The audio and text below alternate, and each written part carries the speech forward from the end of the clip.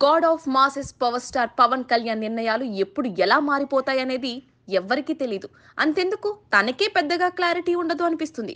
అయితే ఇప్పుడు పవన్ కళ్యాణ్ సడన్గా పాలిటిక్స్లో బయటికి రాకుండా సినిమాలు ఓ రేంజ్లో చేసుకుంటూ వెళ్ళిపోతున్నాడు. మరి పవన్ ఇప్పుడు రీమేక్ చిత్రం వినోదయ సీతంలో బిజీగా ఉండగా లేటెస్ట్ టాక్ ఏంటంటే ఈ సినిమా తర్వాత ఇమీడియట్గా సుజీత్తో కలిసి ఓజీ అలాగే హరీష్ శంకర్లతో ఉస్తాద్ భగత్ సింగ్ సినిమాలు పవర్ స్టార్ చేయనున్నాడు.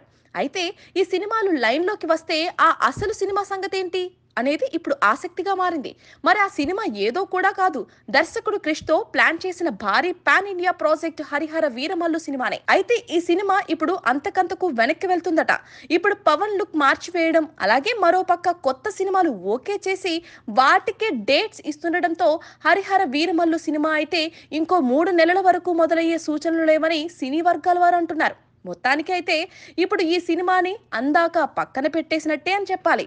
కాగా ఈ భారీ సినిమాలో నిధి అగర్వాల్ హీరోయిన్గా నటిస్తుంది.